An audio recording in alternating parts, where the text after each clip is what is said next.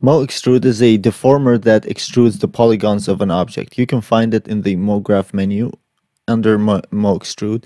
Make it a child of the torus. You'll notice that if you go to the transform tab that the uh, position in the z direction is set to 5 which means that's the amount of the extrusion and the scale is less than 1 that means that with each extrusion the size of the polygons is reduced so if you uh, increase the amount of extrusion to 20 this is what happens. And in the object tab you can choose which polygons to be extruded by adding a polygon selection tag here. You create the polygon selection tag by right clicking on the object going to other tags and polygon selection. In the fields a tab of the polygon selection you have to add the a field. Let's add a spherical field.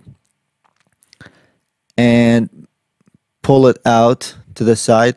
But first we have to add the tag into the polygon uh, selection option.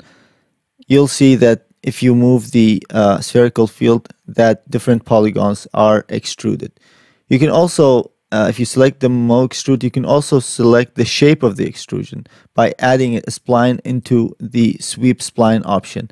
You can add the arc, select the Mo extrude again, add the arc, and if you select the arc you can reduce the size of the arc where it starts and where it uh, ends. But a better option is to add a Mo spline where you can uh, change the bendiness of the of this spline.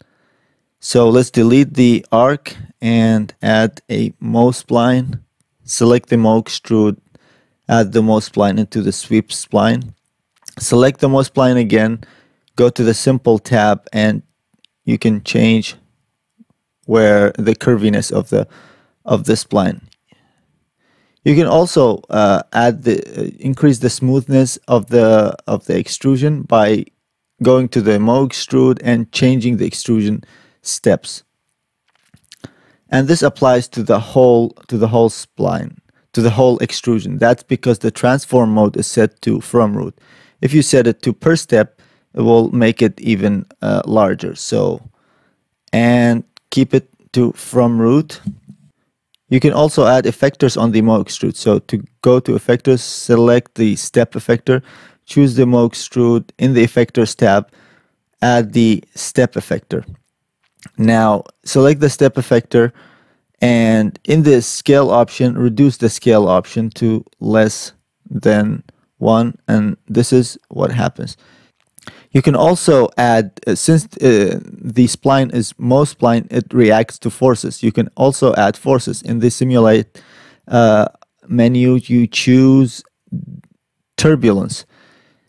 Now, if you play the animation, you'll see that the turbulence is happening, the changing in uh, the size of the spline is happening, but this is too fast. So increase the scale of the turbulence. And now if you go back to the beginning, this is what you will get. And that's the Mo extrude.